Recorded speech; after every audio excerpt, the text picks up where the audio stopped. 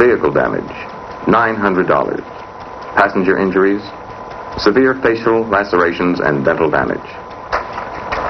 Medical expenses, $15,000. Comments. Restraint system not in use at the time of crash.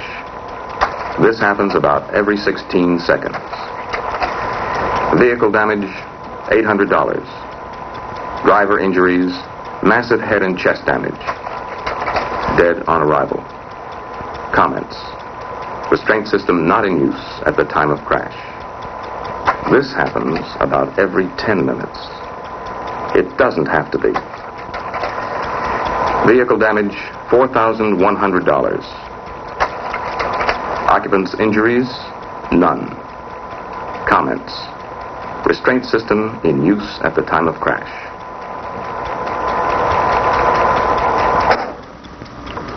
Sixteen seconds between each injury. Not a very long time, but plenty of time to put on safety belts. Time enough to save as many as 20,000 lives a year.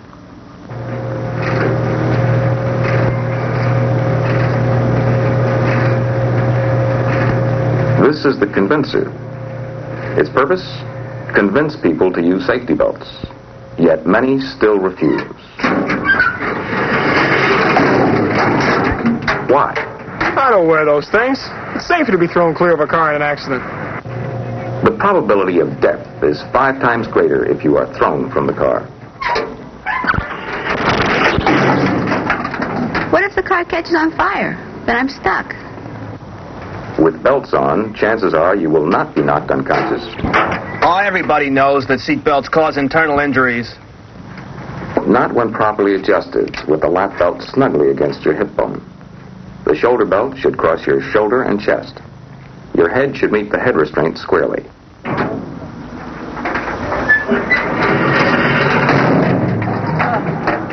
I don't need seatbelts. I'm just going down to the store for a few minutes. It's only a few miles, and I never drive fast. Three out of four traffic deaths occur within 25 miles of home at speeds as slow as 12 miles per hour.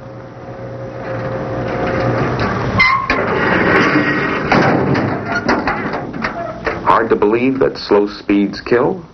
That is 10 miles per hour.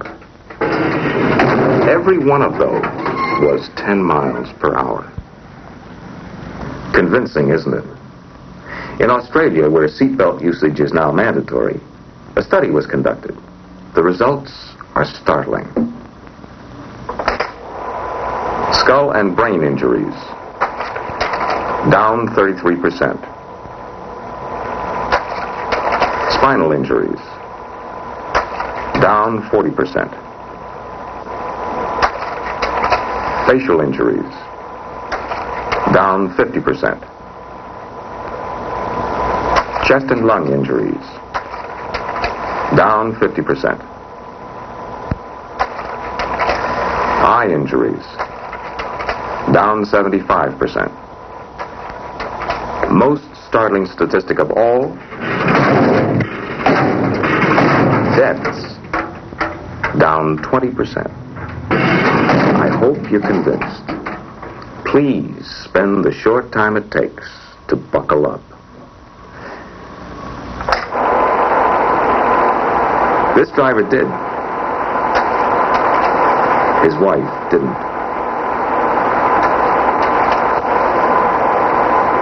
The choice is yours.